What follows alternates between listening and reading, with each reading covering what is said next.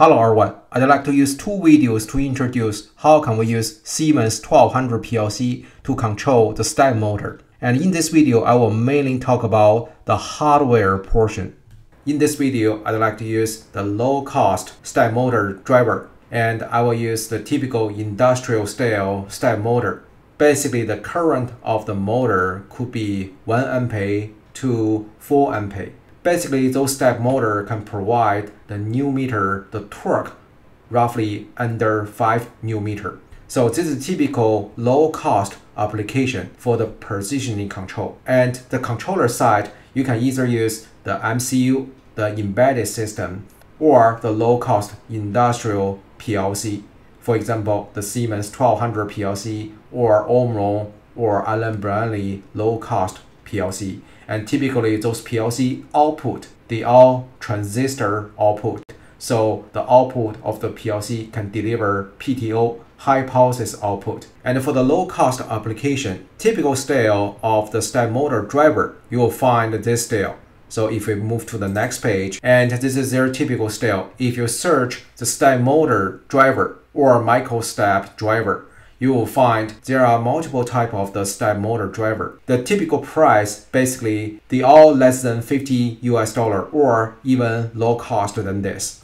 And the typical input of the control signal, they have the high pulses input and the direction signal and the enable signal. Same as the right side, the high pulses input, direction, and enable. And from the driver connect to the step motor, and we can see here from this picture, and the step motor usually has four wires. There are four wires represent A plus, A minus, B plus, B minus. So from this driver, we can connect A and B, four wires. Then you can supply the power for this step driver.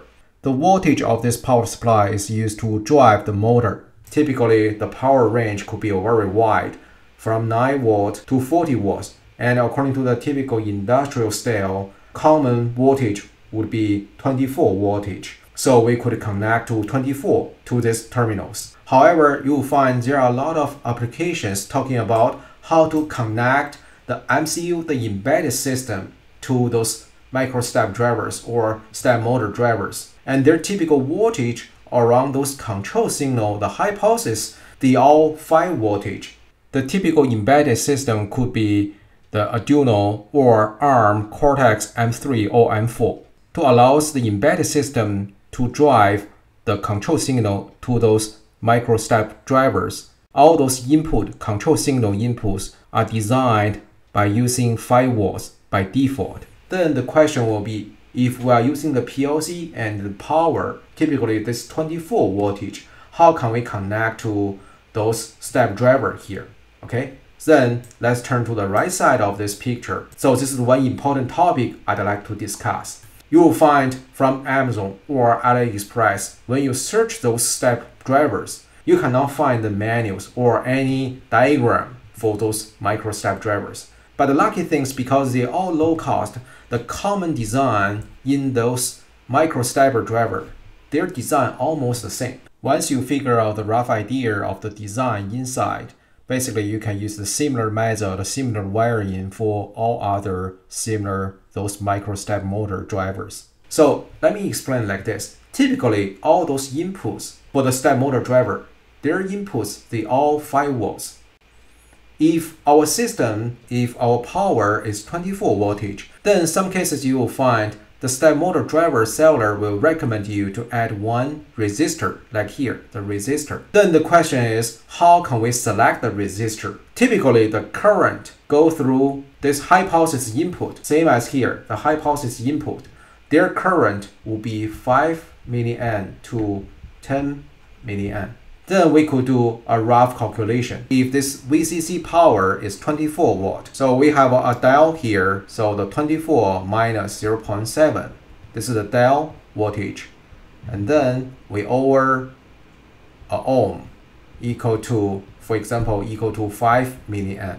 We try to limit under or around 5 to 10 milliamp. Then we can roughly calculate the ohm.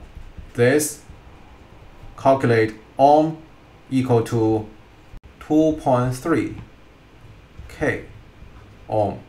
Okay, and also considering there is one resistor inside this step motor driver. Okay, inside here. So we can see here, there's one resistor at each channel. Basically, those resistor around 200 to 300 ohm. Then we can minus this 300 ohms. So roughly, those resistor, we can select 2 to 3K. So you can select the 2 to 3K ohm and then connect to those channels. So this is resistor we can select while we're using 24 voltage. And then you will find at the left side and right side, I have two groups of the wiring. This is usually we call the common hot or the common ground. And typically in the industrial style, if your PLC, if your PLC output is the source output, basically from each channel the current goes this way then this is the source. And this is the typical style of the PLC the digital output style. Then we will do the common ground the each channels minus we will join them together do the ground okay do the minus of the power source and from the PLC side each channel they all connect to the resistor and then go to the channel positive and don't forget this ground and the PLC ground, they need to join together. We need to do the common ground. Okay, don't forget this. And then if your PLC, the output, DO output is a sink style, that means the current will go into the PLC. The current go into the PLC output. This is usually called the sink. The current will go into the PLC device. Okay, then go to the ground. Then this style, we need the common hot. So all those positive will be joined together, connect to the common hot. And this hot will be connect to the power supply, also connect to the PLC. They will share and use the power supply. Okay, but the same thing from each channel, we will also connect the resistors. Typically, each resistor is 2K ohm. Okay, and once you figure out this, then the rest of things are quite easy. The power supply, you can connect to the step motor driver connect to the power supply. And the four wires connect to the A plus, A minus, B plus, B minus. Okay, those are the wires. And uh, keep in mind again, so if you are using the MCU 5 voltage, basically you do not need to connect the resistors. But if you are using the PLC and your power supply from the PLC output is 24 voltage, then basically you need to connect the resistors. But some little bit higher end step motor driver, typically they would adapt the input power. So probably you can review the manual of those step motor driver. So in my system, I will use the Siemens 1200 and the PTO high pulses output.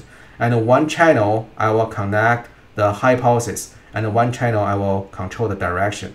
Then I will use this industrial style step motor and connect to this A and B. And my voltage is 24 voltage. And regarding the wirings, firstly, if you are using the Siemens PLC, make sure you are using the DC-DC-DC output. Basically, the surge DC means the transistor output. You cannot use the relay PLC.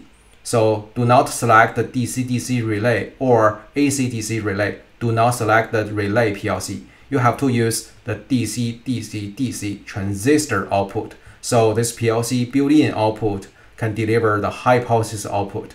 Okay, and the detail of this wiring L plus, I will connect the positive 24, and uh, M, this is the ground, I will connect the negative of the power supply. So join together a resistor and connect to the pulses of this SP plus. Then the point one, this is the direction. So this will also connect to a resistor and connect to here. Okay, this is the direction positive. Then the negative at here, say this is the negative, this is negative, they will join together and then go to the negative. They will join together. This is the common ground. Again, the DO point zero will be used to deliver the high pulses. And the point one will be used to control the direction. And if you are using the Siemens 1200 PLC, typically each CPU can control four high pulses channels. That means the maximum of the step motor controlled by each controller, this PLC, CPU, you can control four step motors simultaneously.